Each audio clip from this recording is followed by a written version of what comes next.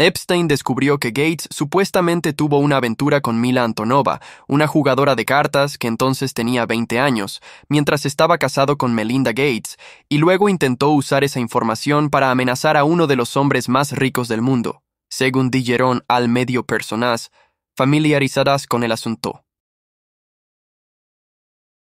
Bill Gates es un empresario, magnate y filántropo estadounidense, cofundador de Microsoft Corporation, una de las empresas de tecnología más grandes del mundo. Es conocido por su liderazgo en el desarrollo de software y por su enfoque en la filantropía a través de la Fundación Bill y Melinda Gates, que trabaja en áreas como la salud, la educación y el desarrollo económico en todo el mundo. Gates ha sido una figura influyente en la industria tecnológica y en la comunidad global debido a su innovación empresarial y su compromiso con la filantropía. Jeffrey Epstein amenazó con revelar una supuesta aventura extramatrimonial de Bill Gates tras negarse este a financiarle. El delincuente sexual intentó atraer al cofundador de Microsoft a un fondo de caridad y al no conseguirlo, amagó con contar una antigua relación del magnate con una joven rusa. Epstein conoció a Antonova en 2013 y luego pagó para que asistiera a una escuela de codificación de software.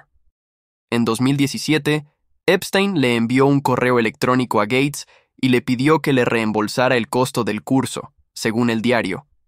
El correo electrónico llegó después de que el delincuente sexual convicto no lograra convencer a Gates para participar en un fondo de caridad multimillonario que Epstein trató de establecer con J. Morgan Chase.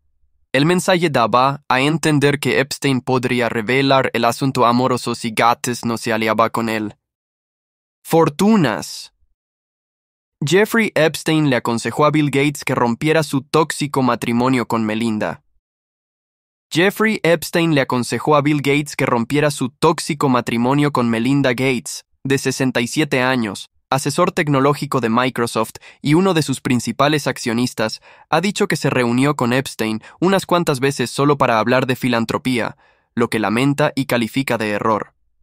Gates se reunió con Epstein únicamente con fines filantrópicos, tras fracasar varias veces en llevar a Gates más allá de estos asuntos, Epstein intentó sin éxito aprovechar una relación pasada para amenazar a Gates, señala un portavoz de Gates citado por el diario.